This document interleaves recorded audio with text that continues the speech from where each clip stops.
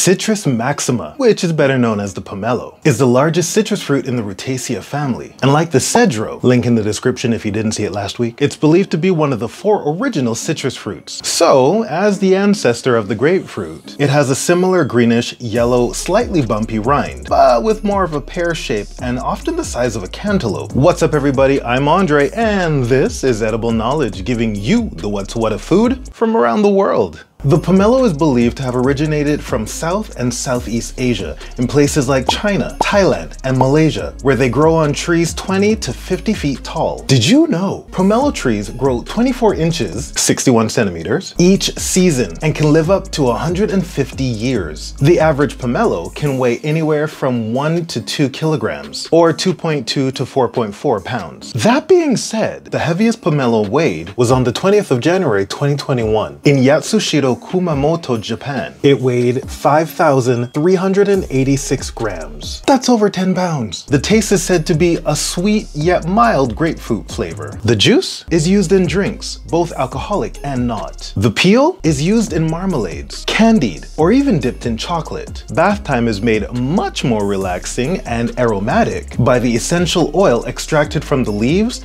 peel, and seeds of some varieties. The flowers are used in perfumes and the wood can be used for making tool handles. Okay, so in just one pomelo, that's about 609 grams, you will find 231 calories, 0.2 grams of fat, 4.6 grams of protein, 6.1 grams of fiber, and 59 grams of carbs. But there's also vitamin A, vitamin C, iron, thiamine, riboflavin, and niacin. The pomelo is said to have have anti-inflammatory effects. It may aid in the health of your heart and may also have antibacterial and antifungal properties. Well, that's all I have for you this week. The pomelo is pretty darn cool. What say you? Let me know in the comments below. All right, people, I'll see you in the next video.